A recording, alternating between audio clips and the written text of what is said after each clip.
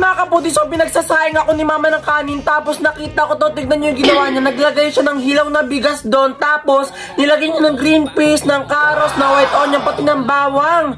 Ayan, tapos nilagay niya ng mga seasoning.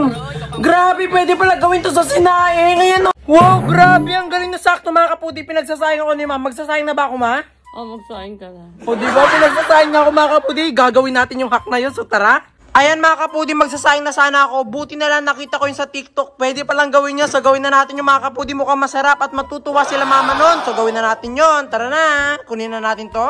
So tara na mga kapudi, gawin na natin yun. Kasi ang galing nun. Kaya niya makagawa ng fried rice kahit hilaw na bigas yung ilalagay mo dito. Kasi pag gumagawa kami ng fried rice mga kapudi, mga lamig na kanin or bahaw yung ginagamit namin para makagawa ng fried rice. So kakaiba yun. So gawin na natin yun. Tara na. So, maghiwa tayo ng onion.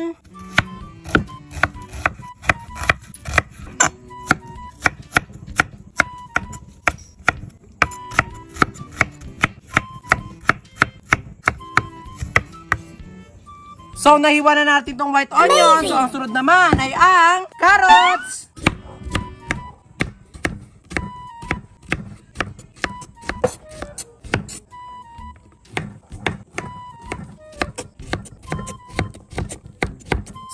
So mga kapudi, nahati na natin yung carrots. So ito mga kapudi, nahati ko na tong bawang namin. Ayan, so pinahati ko na siya para hindi na tayo magtagal. So ayan, ilagay na natin siya dito. Ayan, grabe, sana masarap yun no, para palagi yun na lang gagawin namin pag magsasayang kami.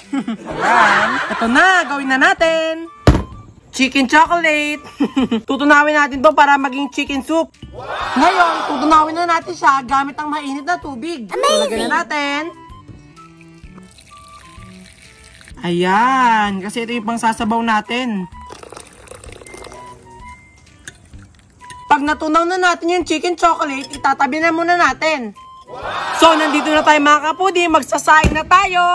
Kaso ito, kakaiba. So, tara na. Ilagay na natin ang bigas. Ibuhos. Ngayon, hugasan muna natin. Hugasan na natin itong bigas gamit yung nawasa water. Ayan. Hugasan lang natin. Ayan, kailangan hugas na hugas yung bigas. Ayan. Para madiligan yung halaman. Amazing!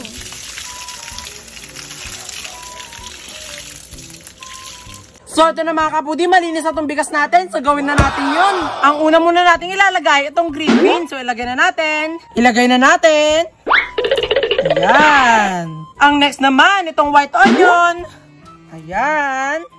Excited na ako dito. At ang sunod, ang carrots. Ilagay na natin lahat.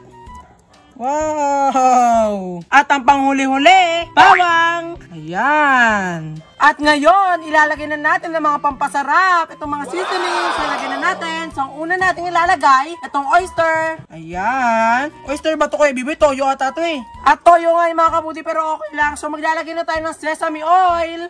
Ito na, ilagay na natin. Ayan. Ang next naman natin, itong sriracha. So, ilagay na natin. Ayan. Okay na yan. Ilalagay na natin itong chicken soup. So, ito na. Ayan. Tapos, isaing na natin siya. Excited na ako maluto. Tara na. Saingan. Ngayon mga kapudi, isaing na natin siya. Excited na ako kasi nagugutom na kami. So, ito na. Isaing na natin. Hintayin na lang natin tumaluto. Bye!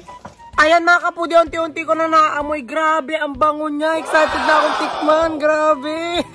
Ayan, unti-unti na siya naluluto. Amazing! Yon mga kapudi, matapos ang unti natin paghihintay, luto na siya. Ayan mga kapudi, so tignan na natin to kung okay na. So ito na, ayan, nakita, nakita nyo dyan. Warm na siya. Ibig sabihin, okay na siya. So ito na, buksan na natin. And one, two, three, ito na. Wow! Ito na siya mga kaputi. So, halulin natin. Ayan o. Amazing! Para na nga siyang fried rice. Bango. Bango. Ito na siya. Ayan. Grabe. Ang galing. so, tikman na natin ito mga kapudi. Titignan natin kung masarap. Kasi amoy pa lang mga kapudi. Mukha siyang masarap. So, tikman na natin siya. So, kumuha na tayo ng plato. Ayan. So, kumuha na tayo. Tapos, ipapatingin din natin to. Kay mama. Ayan. So, ito na. Kumuha na tayo. Yeah, wow. Ito na palaging gagawin namin. Galing, oh. Eto na, tikman na natin. The moment of truth. Ayan. Ganda ng pagkakasahing, oh. Ang ganda ng bigas. So, ito na, ah. Kuya B-Boy. Kahit wala ng ulam, ang sarap. Oh my God. Tikman mo, matang. Oh my God, ang sarap.